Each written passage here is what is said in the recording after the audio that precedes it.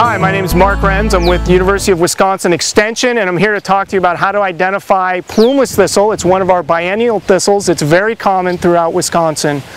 Uh, this plant is difficult to distinguish from other biennials, but the key component is, is that we differentiate it as a biennial thistle versus our perennial, creeping perennial thistle, Canada thistle, because management is similar across all biennial thistles.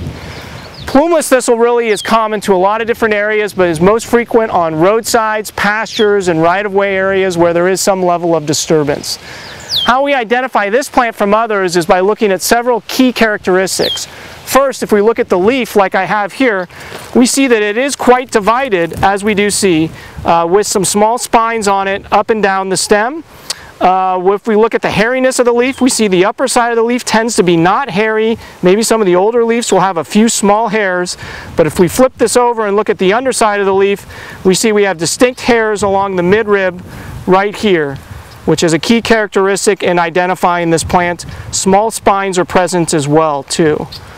Now moving on to the stems as we see here, we see along the stems here, we see that we do have some quite a bit of spininess along the stems. These are actually small leaves that are on here, but it does appear to have a very spiny stem, which many of the other leaves do not have. Now moving up to the flowers as we see here, these flowers in contrast to the other thistles are quite small, anywhere from a half inch to an inch in diameter and they do have spines that are present on them called bracts but they are quite a bit elongated and spaced out differentially compared to some of our other thistles. Another good key identifier. Uh, this plant does hybridize and is similar to musk thistle. And so often you'll see plants that have some of the characteristics of musk thistle and plumeless thistle on a plant. So don't be um, concerned if you see that. Again management is the same.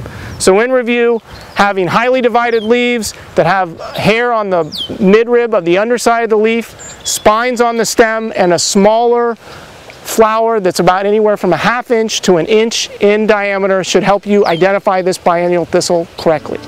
Good luck.